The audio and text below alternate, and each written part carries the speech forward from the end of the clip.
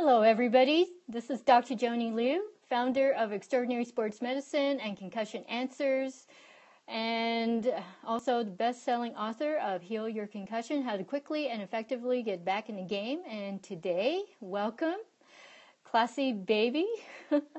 Hello.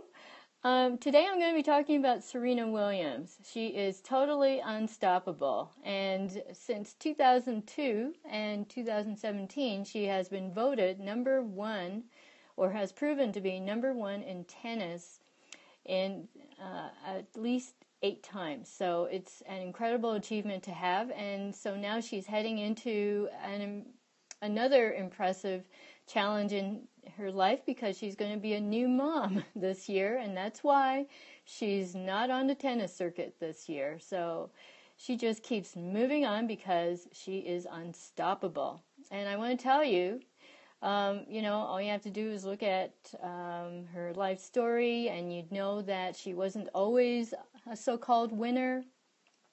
She didn't always have things look so easy, and actually, things aren't easy when you're a champion because she is always, always working. I mean, look at these quotes. She's had to learn to fight all my life, got to learn to keep smiling. If you smile, things work out. And she's been criticized. I remember at one point a few years ago when she was being compared to um, some of her opponents. Uh, the prettier, slimmer ones, you know, or considered to be prettier and slimmer. I mean, Serena is a strong woman inside and out, and that's what's important. Serena is a very strong person inside and out. And that's what happened. That's how it made it happen that she is as famous as she is today. She is as celebrated as she is today because one day, oh God, 15, more than 15 years ago, you know, she decided that things had to be different, things had to change, and so she changed from the inside out. She changed her attitude towards herself. And that's where anything starts. Okay? Whether you think you've got bad luck or good luck, good fortune, you know, things are going your way. The reason why things are going your way is because of what you're thinking about. So, this mental attitude is everything. So, basically, I'm saying that what Serena Williams has done is that she put first things first. And first things first is always about exploring yourself, really getting to know yourself, and understanding yourself. There's just no question about it. So whether we're talking about brain health or physical or other, you know, body health, it's always going to start in your mind. It's always going to start with your attitude. Because things are not accidental in life. Even when it looks like an accident, it's not an accident. If we're uh, still uh, displaying certain attitudes, certain things, um, certain bad habits, you know, things are going to catch up to us. So when I'm driving down the road, for example, and I'm going, you know, I like speed, I like to go fast. And I know I've taken chances at times, and then, um, but I consider myself safe. And when I come to a close call, I count my blessings. I say thank you to God for keeping me safe, but I am also very mindful that, well, that was pretty reckless behavior. I really, that was a warning to me that I shouldn't behave like that. So, in the case of Serena Williams, I mean, you can't beat somebody like her because she doesn't beat herself. Okay, now let's take a look at some of these other things that she says. She says, I love who I am and I encourage other people to love and embrace who they are, but it definitely wasn't easy. It took me a while. She definitely struggled in the beginning, but she got over herself and she allowed her talent to take over. Okay? Because she's not bashful at all. What's going to make me happy is going on the court and holding up trophies, singles and doubles And I have a fabulous picture of her uh, winning Wimbledon last year and uh, holding that golden, that huge golden disc. I mean, I thought that was so awesome to watch her do that because she, and you know, she was just so genuinely happy. It's it never gets old with her. She just loves what she does. Okay, and that is such a huge clue. You know, I'm so interested in following people, and studying them, finding out what motivates them, and for every person, it's different because it's not really about winning. It's not really about winning at all. It's about doing your very best, doing what you are really good at, and staying with it. You know, not getting discouraged when things get bad because that is a likelihood of happening. Because even for Serena, she doesn't win all the time. So, being on top of your game doesn't mean that you're going to win all the time. That's just a fact.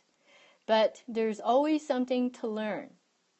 Because even she says that luck has nothing to do with it because I have spent many, many hours, countless hours on the court working for my one moment in time, not knowing when it would come. So she doesn't predict these things. She doesn't take things for granted. Never. Yeah, Serena Williams does not take anything for granted. And so she just continues to work hard at what she's doing. And even as a mother, I'm sure that she's going to be fantastic at doing that too, because for her, family comes first. And that's what matters most to her. So she says that um, she says that tennis is just a game, it's just a job, but it's not my life. That's what she says. So she has many important things uh, factored in. Okay, hi. Here's my cat kitty. Can you see her? It's kind of bright out here. Okay. There she is. She's so sweet. But she's also sitting on my lap and moving around. okay, you. So, so that's the message that someone like Serena Williams has for people because it's very important to know that success isn't overnight. Success requires work, but more importantly, it requires work on the mind and right here because those two have to be connected. And how you feel and what you think are always going to influence how you're going to do in life. If you're if you're a generally pessimistic person, Look at the results that you have. Are you having a great life? More than likely, no. Or you're having success in one area, but but the rest of your life is a mess, okay? because that happens a lot to a lot of people as well. I mean, I'm not saying that life is perfect all the time. There's always going to be challenges, but a strong person like Serena Williams is always going to pick herself up and she's going to dust herself off and she's going to continue on. We never give up when we really feel very strongly about something. So tennis has given her the life of her dreams. And whenever somebody is that successful, and you know she admits that she's a really happy person, I mean, geez, you know, there's I got another thing here that she says, which is really intriguing. She says, um, Serena Williams says, "I'm really exciting. I smile a lot. I win a lot, and I'm really sexy. This is what Serena Williams says about herself. She is amazing. She's not afraid to be herself and to like herself.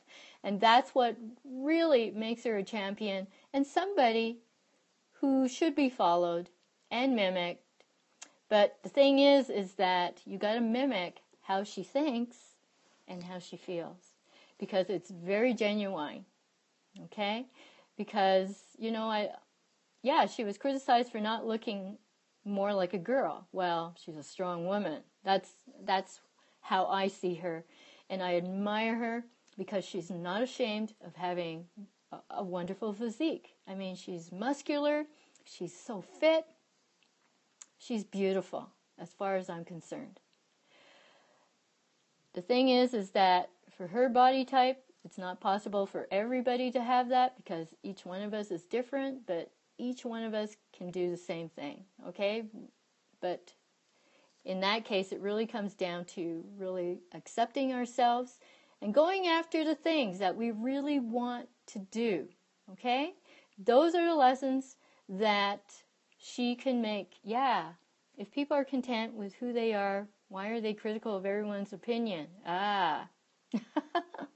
well, they shouldn't they wouldn't be because they wouldn't care about what you're thinking about. Okay? About what somebody else is thinking. That's the whole point. If you really love yourself, you don't care what anybody else is thinking.